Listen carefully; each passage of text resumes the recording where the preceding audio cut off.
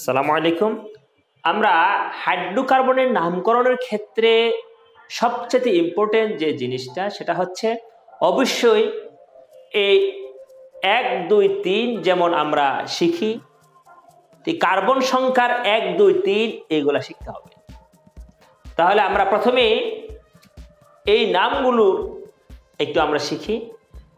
Myth মানে হচ্ছে carbon সংখ্যা এক ইথ হচ্ছে কার্বন সংখ্যা দুই প্রোপ কার্বন সংখ্যা তিন বিউট কার্বন সংখ্যা চার প্যান্ট কার্বন সংখ্যা হচ্ছে পাঁচ হ্যাক্স কার্বন সংখ্যা ছয় হ্যাপ কার্বন সংখ্যা সাত অক্ট কার্বন সংখ্যা আট নোন কার্বন সংখ্যা নয় ড্যাক কার্বন সংখ্যা দশ ওনড্যাক কার্বন সংখ্যা এগারো এবং ডোড্যাক কার্বন সংখ্যা হচ্ছে বারো মোটামুটি এই এক থেকে বারো পর্যন্ত মুখস্থ করলে আমরা হাইড্রোকার্বনের সাধারণ নামগুলো আমাদের ক্যাপচারিংয়ে চলে আসবে।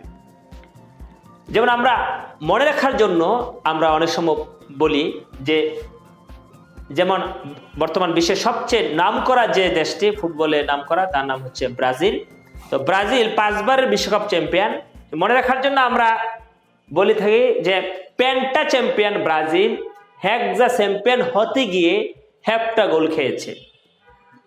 তো সেই জন্য এটা মনে রাখার খুব চমৎকার জিনিস যে penta champion Brazil hexa champion হতে গিয়ে হ্যাপটা গোল খেয়েছে। আর অকটেন আমরা সাধারণত বিভিন্ন ফিলিং স্টেশনে দিয়ে পাশ দিয়ে হেঁটে গেলে, গাড়ি দিয়ে গেলে দেখতে পাই যে এখানে অকটেন পাওয়া যায়। অর্থাৎ আট কার্বন বিশিষ্ট হাইড্রোকার্বন এখানে পাওয়া যায়।